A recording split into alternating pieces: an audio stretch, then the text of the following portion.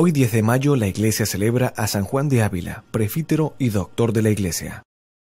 San Juan de Ávila tuvo el privilegio de ser amigo y consejero de seis santos, San Ignacio de Loyola, Santa Teresa, San Juan de Dios, San Francisco de Borja, San Pedro de Alcántara y Fray Luis de Granada. Dicen que él es la figura más importante del clero secular español del siglo XVI.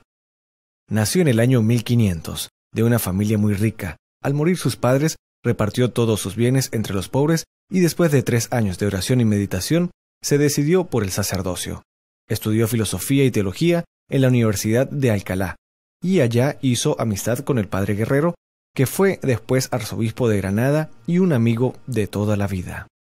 Sus últimos 17 años fueron de enorme sufrimiento por su salud que era muy deficiente. En él se cumplía aquello que dijo Jesús, Mi Padre, al árbol que más quiere, más lo poda, para que produzca mayor fruto. Una de sus cualidades más admirables era su gran humildad. A pesar de sus brillantes éxitos apostólicos, siempre se creía un pobre y miserable pecador.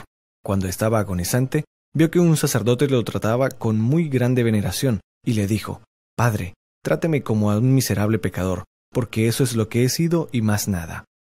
Cuando en su última enfermedad los dolores le arreciaban, apretaba el crucifijo entre sus manos y exclamaba, Dios mío, si te parece bien que suceda, está bien, está muy bien el 10 de mayo del año 1569, diciendo Jesús y María, murió santamente. Fue beatificado en 1894 y el Papa Pablo VI lo declaró santo en 1970.